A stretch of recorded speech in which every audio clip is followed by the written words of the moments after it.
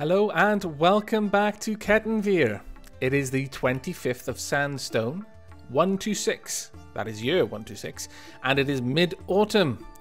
Winter is right around the corner, and before it comes, we've got a few things that we need to do. But first, I'm going to cover a slight change I've made. I've uh, changed the designations a little bit to have, instead of three staircases along the top, two up and one down the bottom. Now, I've increased the size of these rooms, and that's partially why I've, I've split them.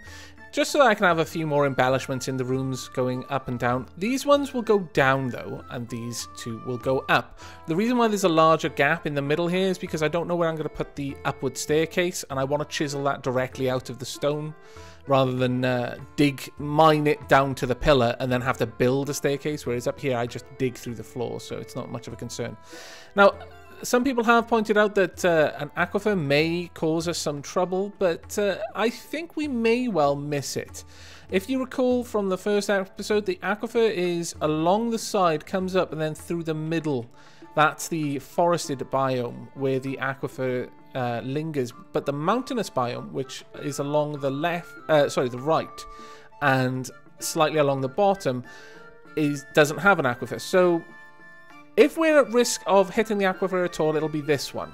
I mean, I could be completely wrong, and it'll be both of these, in which case that's a that's a bit of a problem. But uh, I'm sure we'll be able to get through it somehow. As I've said before, I quite enjoy the engineering challenges that an aquifer poses to you.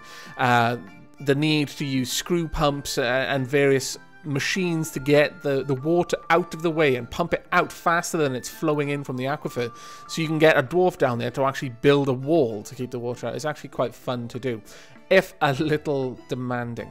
Now, up here we are going to have to make a few changes. First and foremost, we're going to change the burrow, I think. Let's, uh, oh, I didn't mean to do that. Let's remove citizens from this burrow. The reason I'm doing this is because we are having a little bit of problem with people cancelling their jobs all the time.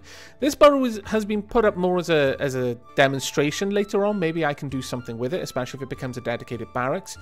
But right now, the the reason why it's causing lots of, of job cancellation spam is, for example, when this stockpile has an empty space, it says, "Oh, I need some wood." So everyone in here who's got wood hauling enabled, which is most people, are suddenly like, oh, there's there's wood we can go and grab. Let's uh, go grab it. Oh, wait, no, it's outside the burrow. Ah, never mind. Cancel job. And that will happen a lot in the space of a, uh, in a very small space of time. And the the main concern with that is that it'll drown out important job cancellation alerts. So we want to uh, keep those off for now. You may notice that the burrow is expanding into this room here. And that's because I defined most of this burrow as a rectangle. So parts that it, remembers, even though it's not flashing down here, this is still part of the burrow, and if we if we dug into it, it would still be designated. But further down, it's probably not got any uh, designation to the burrow, and we might need to add more to it, as we need to add a few more rooms. Now, let's, uh, if I can get the right one, there we go, tab. Now, we want to designate a little bit more space. Someone has pointed out that currently we don't actually have too much room for people to sleep. And although that wasn't too much of a problem when we only had a couple of dwarves, it is starting to become a little bit of an issue now. So that'll give us room for another 8 beds. Now, over here, I would actually like a, a, a little barracks, just a little training room. It's not going to be particularly well liked with the people trying to sleep next to it if the military are training at the time, but, uh, well, you know, it's better for us to have a military that's actually doing something than not. Now, here, I'm going to add an underground farm. About that big.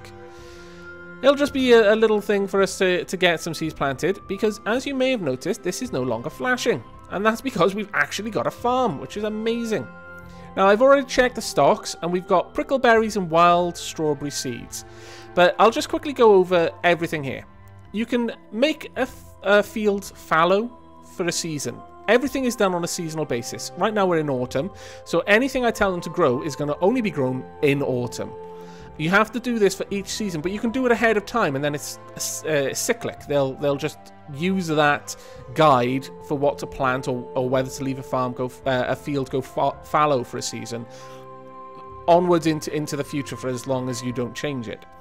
You can also fertilize the field, but that requires potash and, and, and various other things. I think there are more things than potash that you can use, but generally speaking, that's something that I only do later on when I've got a lot of resources to use. But for now, I think we're going to plant some wild strawberries as it's autumn. And in winter, then we'll plant some prickleberries and then wild strawberries again in spring.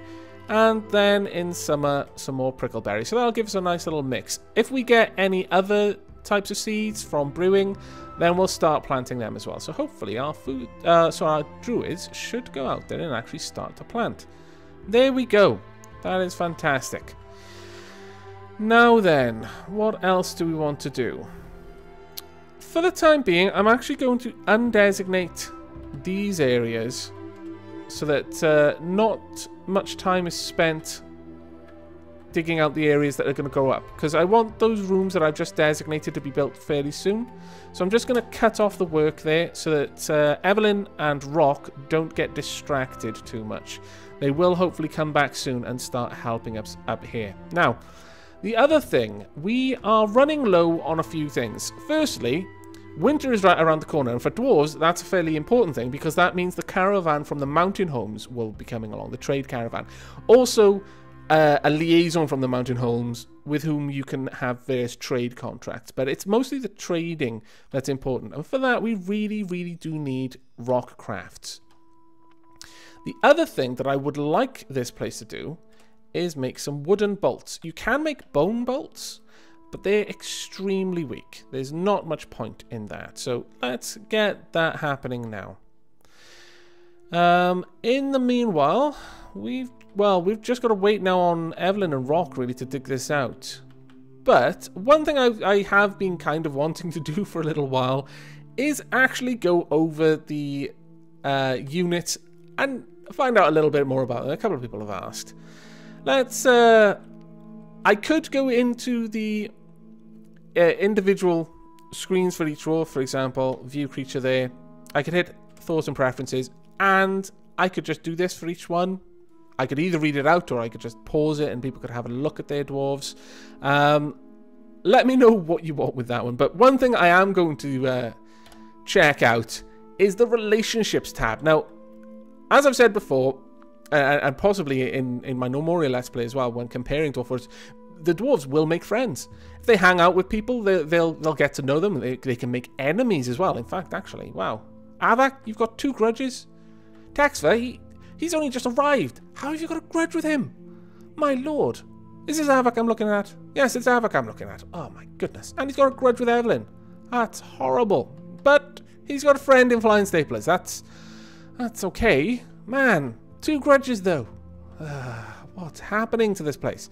He's got uh, quite a few passing acquaintances though, and a few long-term acquaintances. Maybe they'll become friends later on. But he has two gods, Eagle and uh, Eggert. I think we can, can we look at them with V for view? Eagle is a deity of the cremated furnaces. Eagle most often takes the form of a female dwarf and is associated with storms and lightning. Very interesting. So Aavak's like a Thor worshipper. Wow, a female Thor worshipper.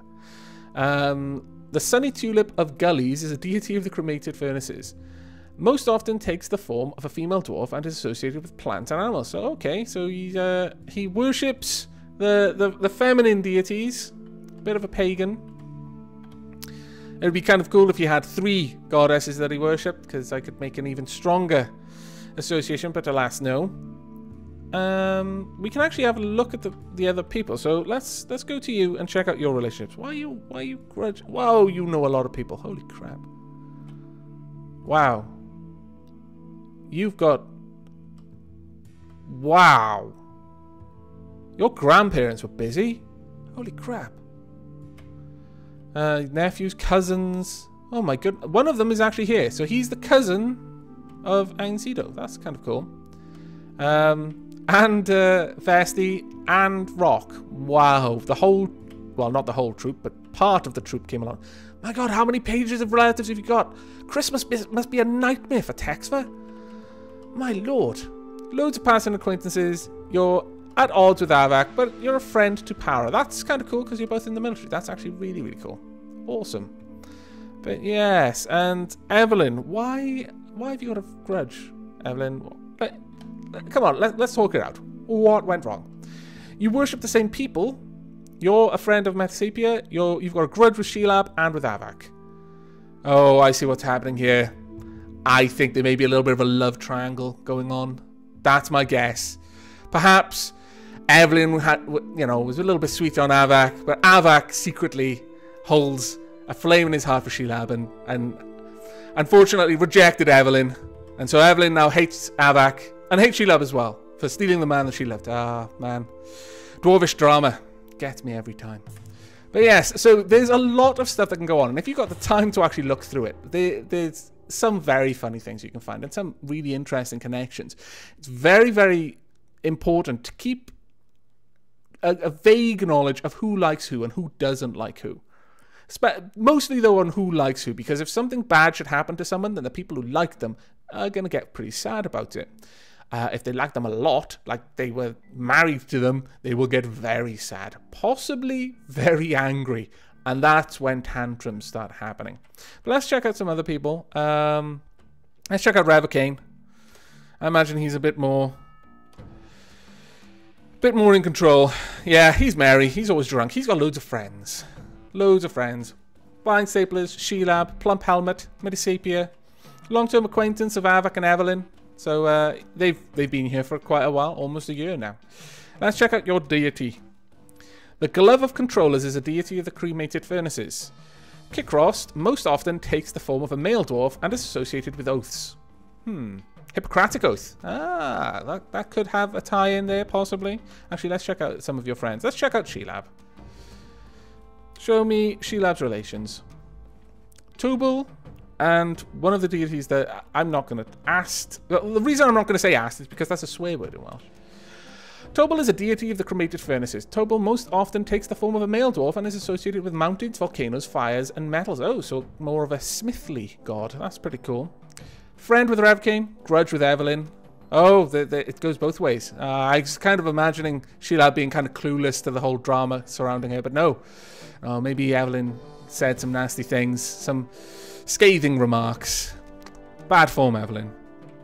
Bad form, Aavak, really. Everyone knows if if if a woman confesses to you, you you the, the best thing to do is just, well, it isn't really to lead them on, but let them down gently at least. Don't don't form grudges. It just makes life hard. So let's check out Edna next. What have you got? Oh, you're married to... Oh. Wow. Congratulations, Rock. Congratulations, Edna. Hopefully there will be baby dwarves in your future. You are already married, so we're not going to have a wedding ceremony in the fort. That is a shame, because they do do that. They have little wedding ceremonies, though uh, I'm not sure if they have very big ones or if they just throw a party or something, but uh, you do get a little announcement for it and a little party happens. It's it's a, a, good time. No grudges, no friends though. That's a shame. One hopes that you are friends with your wife. Poor old Rock. Let's see. So Rock, husband is Edna. Mon Monom is your mother. Mebzuth is your father. Wow. Paternal maternal, older brother, sisters. Oh, Vasti is your older brother. Ah, that's interesting. Wow, we've we've actually got some proper family intrigue going on here. Well, not intrigue yet, but I'm sure it'll become intrigue. Incido is a cousin of yours. So it seems that the, the first migrant wave, or possibly the second migrant wave that came along, I can't remember when I named you guys, um, did actually involve quite a lot of uh, families, which is always quite cool because it does uh, give quite a lot, a more rich environment. Let's check out Flying Staplers next, though. Flying Staplers, Datan Seder Uzal. Who's Datan Seder Uzal? The Emerald of Oiling. Hmm. The deity of the cremated furnaces. Datan most often takes the form of a female dwarf and is associated with minerals, jewels, and wealth. Okay, so Flying Staplers is a little bit greedy on the side. Yes. Gonna have to keep an eye on her around the uh, gem bins. Uh, the Paint of Amethyst is a deity of the cremated furnaces. Uh, Anriz most often takes the form of a male dwarf and is associated with rainbows. That's amazing. Flying Staplers worships gems and rainbows. That is amazing. And quite fitting, I feel. You're a friend to Revcane, Metasepia, and Aavak. Hey, Okay, well, that that's kind of cool. The Let's Players are all together as friends. I'm gutted that Aavak's got two grudges. Going to be assassinated or something. I can see it now. Evelyn, with the lead piping in the library. Texfer is... Oh, wait. This is Blood Alchemy. Blood Alchemy is married to Texfer. Oh, this is awesome. We're going to have loads of little babies running around. It's going to be great. I'm undecided whether I'm going to name them based on your names, like a, a merger of the two, or whether I'm going to just put it out there and say, right, parents, tell me what your children's are named. Because I don't think I'm going to use the children to name as people off the off the waiting list. I might do. I don't know, but uh, I do kind of like the idea of uh, just putting it out there. Look, you know, it's your kid. What are you going to name him? And you'll have to agree. Maybe, maybe have a little vote. I don't know, or an argument. Try not to have the argument in the comments. No, no one likes domestics. But there we go. The, passing acquaintance with a lot of people. Not, not really very friendly yet. You haven't been here long though. Uh, let's check out. Who else should we have a look at? Let's check out Plump, because you've been here for quite a time. Good chance you'll have some interesting relationships. No, just a, just a friend. You're a friend of Revkane. You kind of keep yourself to yourself. Another worshipper of Ast, though. I don't know if who you worship has any relation on how you like other people who worship them, but maybe. And uh, let's check out Sim. Uh, the Frothy Gristle is a deity of the cremated furnaces. Sim, or Kim, it depends if it's hard see, most often takes the form of a male bumblebee drone and is associated with muck and freedom. Ah, Plump appreciates freedom, being allowed to roll in the muck when one pleases. That is why he's only got one friend.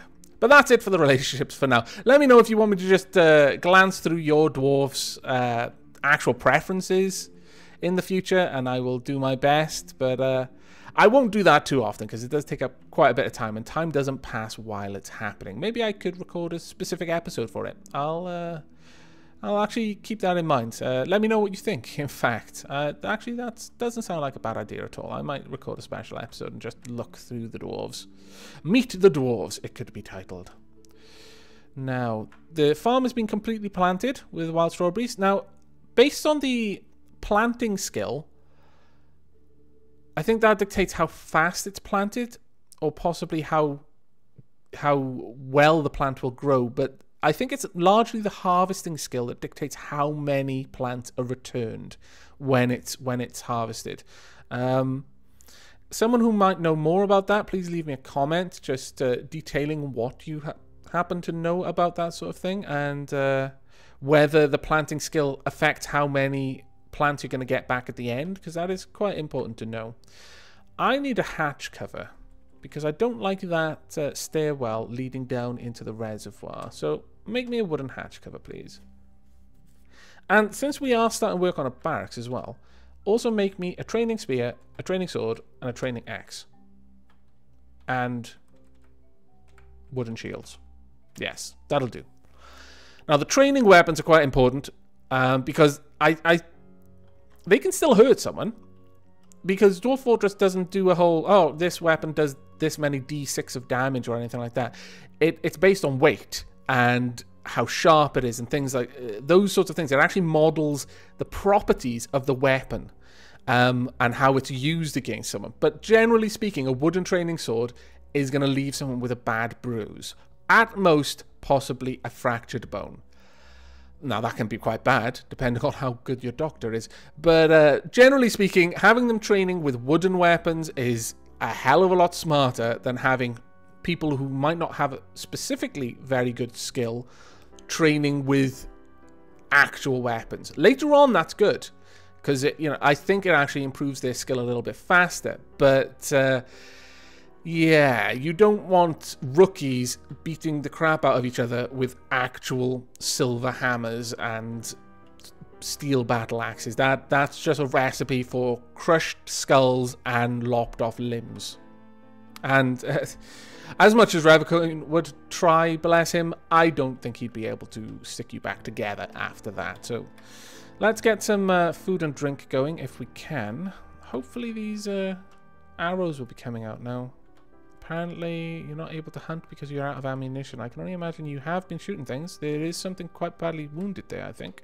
Let's have a quick look. A wombat. Let's have a quick check of your wounds. Right, you are actually reasonably wounded. The red obviously indi uh, indicates something bad, and uh, it's also winded, but it's taken some nasty wounds to the head. Hopefully, it'll die. That X is showing that it's... Uh, yeah, it's just, it's bled out. That's fantastic. Grab that wombat corpse and take it back. I want that butchered right away. Hopefully. Oh, yeah, that, that sleeping room is filling up. I'm keeping an eye on that. Ooh. Aha! The outpost liaison has arrived. The caravan has arrived. We have our traders. As you can see, they are bringing caravans. Now, the caravans, as I've said before, need a 3x3 accessible path all the way to your trade depot. Otherwise, they'll just leave. It'll check whether there is such a path when the traders arrive. And if there's not, the wagons themselves will bypass. They'll, they'll be like, well, we can't get to the trade post. We're leaving. But uh, you will usually still have like a guy who'll bring a, a, donkey along laden with, with loot to bring to your trade post. The, the important thing here, though, is that a wagon can carry an awful lot of goods. A donkey or a horse, not so much. So that affects what they bring, but also what they'll buy. Because if you're trying to sell them stone statues, those are heavy. They're not going to be able to carry so many of them. In fact, they might not be able to carry any of them, depending on, on whether they brought wagons or not. So it's very, very a, a good idea to have access for wagons. Now then, if we go over the trade post, we can actually see that uh, our broker is Aavak. Aavak's currently conducting a meeting, so that means the liaison's already grabbed him. Damn it. Uh, well, okay. Rovod, something, something, something. I am your liaison from the Mountain Homes. Let's discuss your situation. Why, let's. Now, they're going to have a bit of a meeting on the price of goods. We will be able to actually request that the next winter caravan from the mountain homes bring certain things. Though you can't explicitly request it, but you can say, look, I'm really interested in these types of things. And there's a much better chance that they'll be brought, but they will cost a little bit more. Likewise, they will say the same sort of thing. They'll say, right, well, we're interested in buying, I don't know, crowns and we'll pay 170% of the normal price for crowns. So that gives you an idea of what you should be trying to make. So let's have a quick look. This is the list. You navigate this with plus minus to go down the type and then up and down to go around the goods and then left and right to increase or decrease the priority.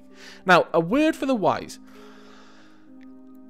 You should choose something. You should say that you want something even if you have no intention of buying it when it's brought next year, if you don't, the liaison will get a little bit upset with you because you're not really conducting business. There's no opportunity for profit, so it can it can backfire a bit. So no matter what, you should pick something. So my usual go-to thing is just select a type of leather. Doesn't matter what. Let's have a look what we can grab. Something interesting. Uh, no, not cow leather. That's that's completely normal. Reindeer? Uh, no. Goose, goose leather? Okay, we'll, we'll take some goose leather. Anything else? There's llama leather there, but no, that that's still kind of... Blue peafowl. turkey leather. I... I... Okay, we're to have turkey leather. I'm to make someone a turkey leather cloak. Right, so that's done, so we can actually look for things that we want. Crafts, generally speaking, you don't need them, but you can select, like, for example, if you needed steel, so you could smelt things down, try and, and bring steel crafts. You Because you, might not be able to request steel bars. You usually can. Um, but to increase the uh, odds of bringing along certain types of metals, you could say you want certain types of crafts. And then when you've got those crafts, just smelt them down. You don't need a toy drum, but you could use the steel that it was made of to make something better. Now, I've selected all types of bars, and the reason for that is that uh, I don't know when I'm going to hit actual metal ore, um, sorry, uh, ores, but they will be very useful um, for moods. I'll cover moods when we hit it. Suffice to say, though, that moods are how you get legendary items. Uh, not masterwork. Masterwork is just a factor of skill, but a legendary item is something far more important and is, is made by like a, an epiphany or a possession by some otherworldly entity that just drives the dwarf to distraction. They have to complete that thing. Downside of moods is that if they don't get to complete it, and that's usually because there isn't a certain type of material that they desperately need, that they saw in their dream, or that they just got this feeling in their gut that this thing needs to be made of that. If they can't get that, you only got a certain amount of time, but they will go crazy, and the crazy will take various forms. It could turn into a crazy, rage-fueled battle lust that just spills over and destroys your fort, or they could just go throw themselves in the river and drown. You know, and that in and of itself isn't so bad until all their friends then get depressed because of it and then throw themselves in the river and drown, or go on a crazy rage-fueled battle lust tromp through your fort. It, it, it can get out of hand pretty quickly. Um, ammo, actually, yeah, we'll we'll go for ammo. Hopefully they'll bring some metal ammo. Um, pets. Do we want any pets? Yes, we do. We want cats. Now, one of these is male, one of these is female, so I'm I'm covering both bases there. We don't need dogs. We've got those. Uh, we'll take horses. Nothing else. Uh, actually, no, we won't take horses. We'll take cows. And ewes and rams, because we can get some uh, wool from those as well. That that should be good. And the cows we can milk. Yes, we can make cheese with that then as well. We could take uh, some other types of birds if we particularly want to, but I'm not particularly interested. We'll take a yak, cow, and bull though as well. Uh, I think that's about all we really need. Uh, I'll go for wine though. Now, meat. Koala meat. Have you got any koala meat? Please tell me you've got koalas. Now, our civilization might not have koalas. And if they do not, Aavak's going to be very unhappy. Means he's going to have to trade with the humans, or worse, the elves. But he'll do what he has to do to get koala meat. Kangaroo, no. Fly, what? How... I can't even butcher a duck because it's too small, and yet you've managed to butcher a fly? Really? Game, you're hacking. No, it doesn't look like we've got koalas. Cave crocodile, though. Hmm. Go on, then. We'll have some cave crocodile heart, liver, and uh, eyes to make some soup with. That's all we're going to do. So uh, that's that then. Now, what we want to do is we want to start moving some goods over here because Aavak's currently trading, or, or rather conducting a meeting, but we... The merchants won't stay forever. So we need to get our broker over here kind of soon. But before that, we're going to move some goods over. Now, we've had our um, Krasnov making some goods. So you can select any of your items from this list and send them there individually. But what I find is easiest is if you hit S, then type in finish, finished goods bin. These are going to be the bins full of crafts, finished goods. You just hit enter in them and it's marked to be brought to the trade depot. Now, there's another thing that I would like to sell, and that is gems. Because right now, well, we might not need it. I'll have a look. If there's something we really, really need to buy, I might sell some gems in order to get the money to get that. But generally speaking, gems are another thing you want to keep by for moods. At the end of the day, if nothing else, a gem put on a legendary item makes it st stupidly expensive. Like, you know, ridiculously valuable. So you could then better trade it for something else. Now, in here, you can see that we've currently got no trader needed at the depot and only broker may trade. You can hit B to change that to anyone. Now, this is worth noting. If for some reason our broker, that is Aavak, cannot get to the trade depot in time and I start worrying that the traders are going to leave, possibly because he's been tied up in this meeting, because bureaucracy is bureaucracy, unfortunately, and red tape can tie up the best of us, um, then I could swap it to anyone may trade. And at that point, anyone who's free will come along to do the trading. That should be a last resort though, because generally you want one person to be doing as much trading as possible because their skills get better. And the skills allow them to estimate the values, to gauge how likely the trader is to, to go for a deal and how happy he is with the deal, because the happy trader means good reputation back at the mountain homes. If a trader goes back and is like, this place was amazing, they had so much wealth, they just gave me things and oh, by the way, King, here's a, a, a statue made of stone. They, they sent her as a gift. All that sort of thing is, is factored into migrant waves. So very, very happy traders mean very, very good reputation at the mountain homes, which means lots of migrants come along because they think this place is made of rainbows and, and every piece of stone is actually sweets. Dwarven rum. Dwarven rum flavored sweets. Yep. True facts. Okay, we want Aavak to go there. So hopefully, Aavak will make his way there shortly. I I'm going to let this uh, episode draw out a little bit longer. Hopefully just until we get Aavak in the place. Oh no, he's here. Haha! Finally. I say finally. He actually did that quite fast. Well done, Aavak. You you managed to negotiate your way out of the meeting with the liaison and have left him behind. Because the liaison's there now, like, well, I've got to get this meeting sorted so I can go home. But uh, we want to do trading first. Now, greetings from the Mountain Homes. Your efforts are legendary there. That's good.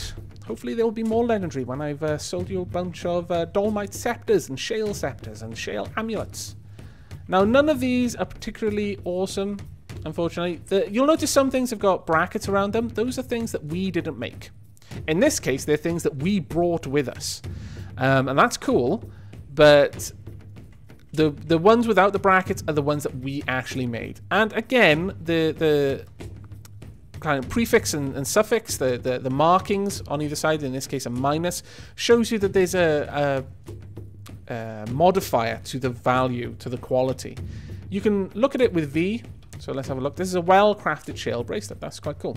I don't think any of these have been decorated with anything, though. You can decorate things with bones or, or, shells or horns or pearls or, or, anything. You can encrust them with gems, and that will all modify the value. That'll multiply it, and it's very good to try and get a, a nice stock of just a couple of things that are well made and then well decorated by well prepared things because the, the value of a, simple ring can become quite staggeringly high if you've decorated it in several different types of bone from different types of fish and you've got hanging rings of copper off it and it's menacing with spikes of shale. Yeah, trust me, it, it's really, really good. But let's go ahead and stick those on there. Now, some of these are actually quite heavy. That's because they... Oh, no, we don't want to sell those. It's because they've been made of rock. And the, as I said, the weight would be an issue if we didn't have actual caravans here. Now, as you can see, these things, the rough opals, they're worth a lot more than most of these. But some of them aren't too bad. But we do not have very much that we can trade with. Currently, we're offering 330 units of whatever currency it is. So we've got to have a look through here. At the moment, the first caravan, I'm generally focused on getting food. Food and drink.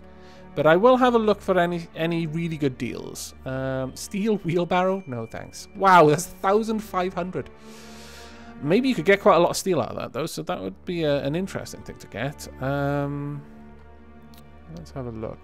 Uh, one thing I should have actually asked the liaison for was gypsum powder because you can use that to make plaster casts, which Revocane may need to make if our dwarves get hurt, but uh, I forgot. So we'll have a look through here. Now you can, I could have easily just told them to sell the whole barrel, uh, the whole good finished goods bin, which has in total 370 on it. Um, but I didn't do that because there's loads of things in it, like those things. And down here, the same with that. If you're shy on wood, you might not want to be selling your whole bins as well. And so you just go through them and individually select things.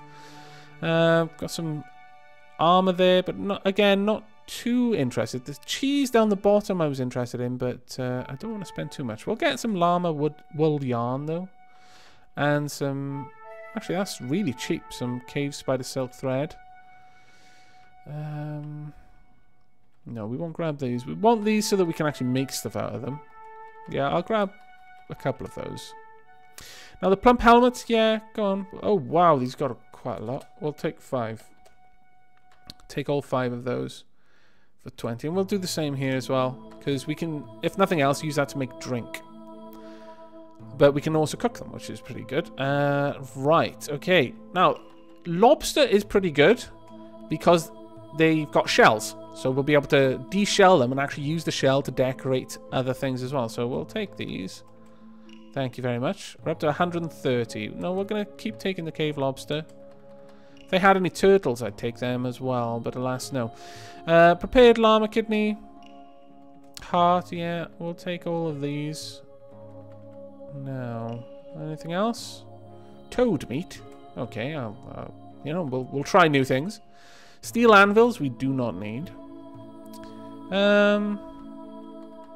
Okay, turkey bone crowns. No, thank you. Thank you, but no. Bronze bolts. That's expensive.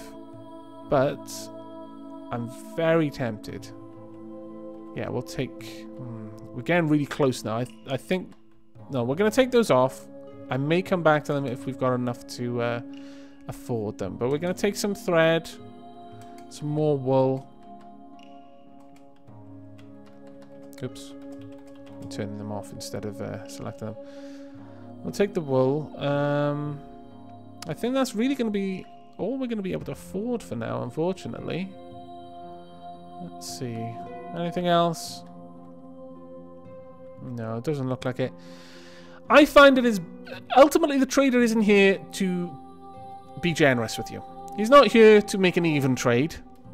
With high skills, you might be able to convince him to, but he still would be a little bit annoyed when he went back and he's like, well, I actually made no money on that trip whatsoever. Um, they're interested in making profit, so generally aim a little bit low.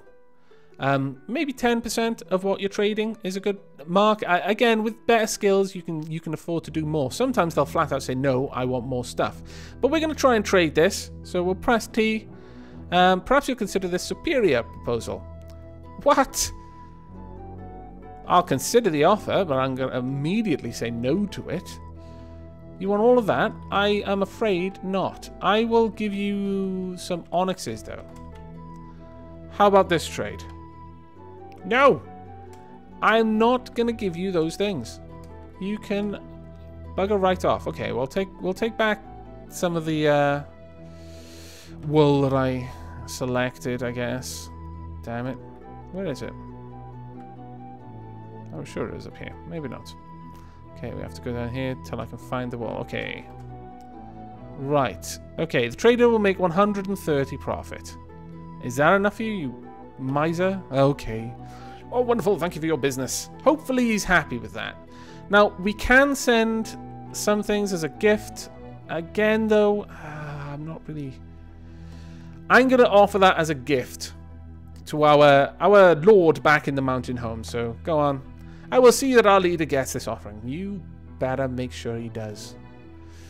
But that's it for the trading. Now, Aavak will go back and we'll continue doing meetings, but we have already gone way past the uh, the wrapping up point for this episode, but I wanted to get the trading itself out of the way. He will go back and do the meetings, but we'll do that in the next episode. But for now, that is it for this one. I hope you've enjoyed the episode, and I'll hope you will join me for the next. But from myself, and from everyone in Cattenvîr, do take care.